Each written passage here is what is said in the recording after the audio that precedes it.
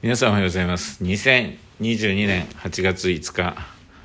立憲民主党の衆議院議員原口和弘です。朝のご挨拶 A です。今日はですねあの妻の正月命日ということでたくさんの皆さんに、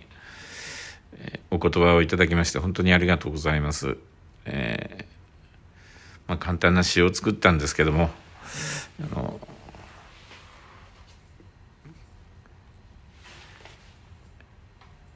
少しでもあの点で安心してくれたらなと思います。本当にありがとうございます。さてちょっともう懸念がですね現実のものになりました。さっきえっ、と立憲民主党の外交安保主権調査会外務安保部会の合同部門会議をやってました、まあ、そこでですねこうやって、えー昨日のですね、防衛省の発表、我が国の排他的経済水域、えー、そこにですね、えー、中国の9発の弾道ミサイルが落下したものと推定をされるということで、こういう文章が配られました。まあ、この、私はあの、ペロシ氏のですね、あの、まあ、こういう形になってるんですけども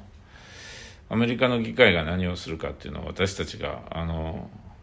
言える話でもなくこれはアメリカのあの政府も言えませんね。三権分離ですから。しかし二方面で戦うことができないとロシアと中国と相手にですねそれはあの日米同盟のコンセンサスだと思いますね。でこのもうウクライナで、え装備品だけ軍支援してですね空も陸も海もロシアから攻められていると。この状況でウクライナがですよ。で今度こういう事態になった時にですねあの日本が戦場にならないように、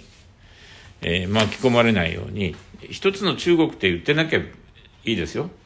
た私たちは台湾の独立を国としての独立国だということで、えー、対応すると。現に、えー、もう半世紀前、えー、そうやってですねあの私たちは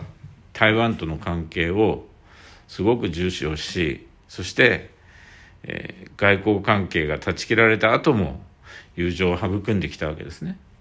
ところが今どうなってるかというとこのこの方の包帯を機にですね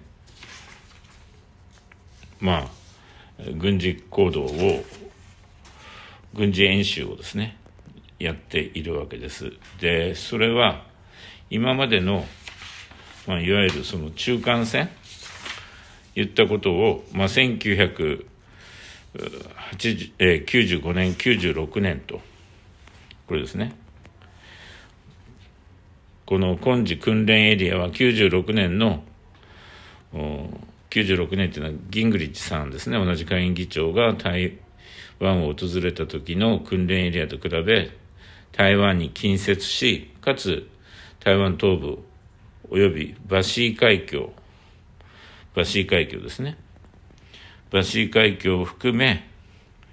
台湾を包囲するような形で、大規模に設定されているということですね。で、それで、この軍事演習の、まあ、煽りを食らって、これですね、日本の EEZ 内に、えー、9発のミサイルがあの着弾をしたようだと推定されるとこれですね。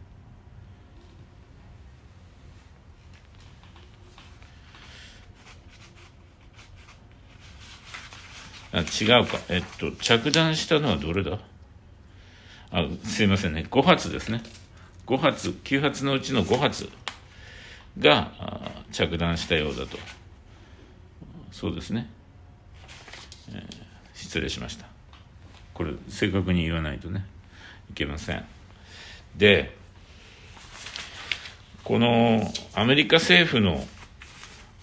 あの反応と米国の反応ということで、まあ、私も紹介をしてましたカービー NSC 戦略広報調整官ですね。カービーさんは前ペンタゴンのあの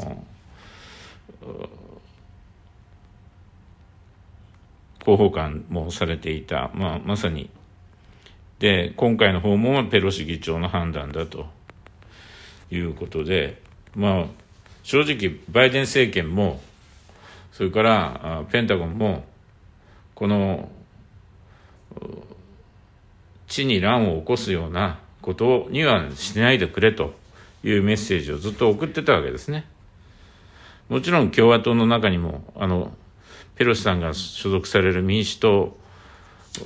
以外の共和党の中にも包帯を歓迎する声もあったわけですね。でも、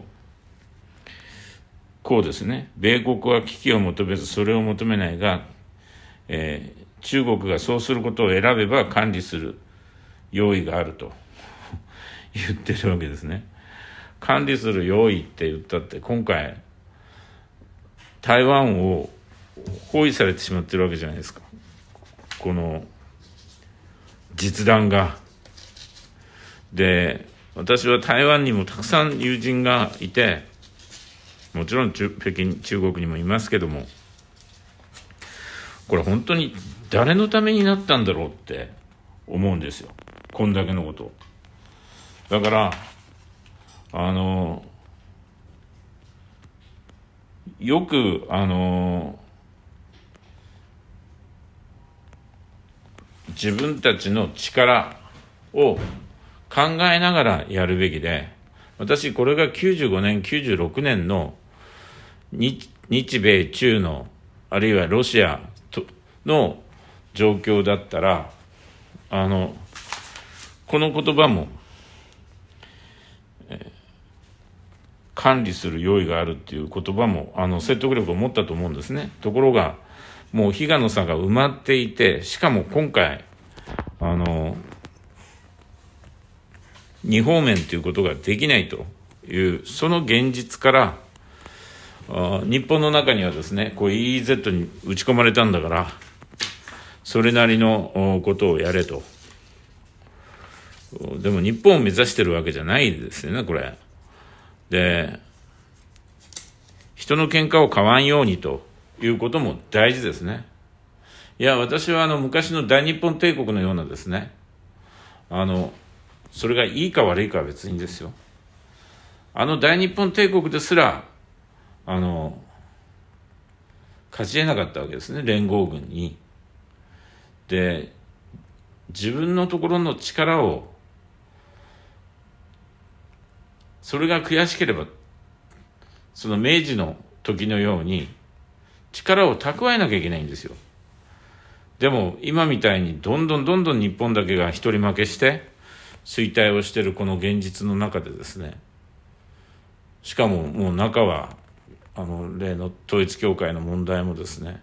中から食い破られている状態。それから円安で中から土地が買いまくられている状態。この状態は悔しいけど現実として見とかないとダメだと思うんですよ。その現実を外してそして「おい戦争だはい戦って最後までうちに住むまでやるぞと。それは最も愚かなことですよね。だから、私は今日、これも、後であの、私が言ったところだけ公開しますけども、アメリカの反応っていうんで、ここだけ書くのはおかしいでしょと。カービー NSC 戦略広報調整官が言ったことは、もっと突き放した言い方をしてましたね。あの、ツイッターでも紹介をした通りですよ。だから、これをやって、米軍が本当に出てくんだったらいいですよ。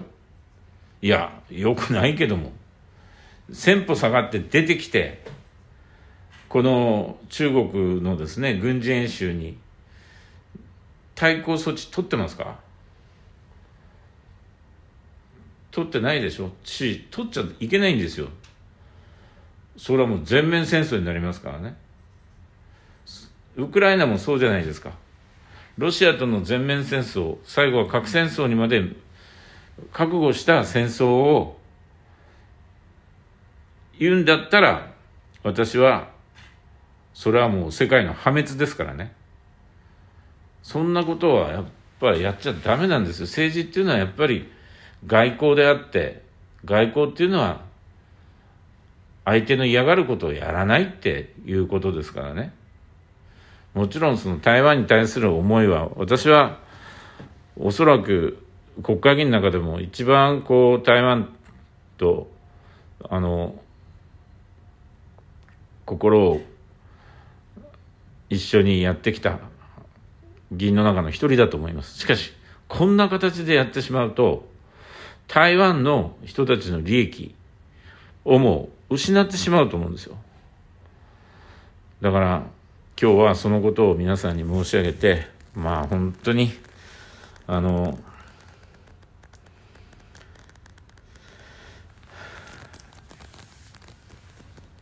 何様だと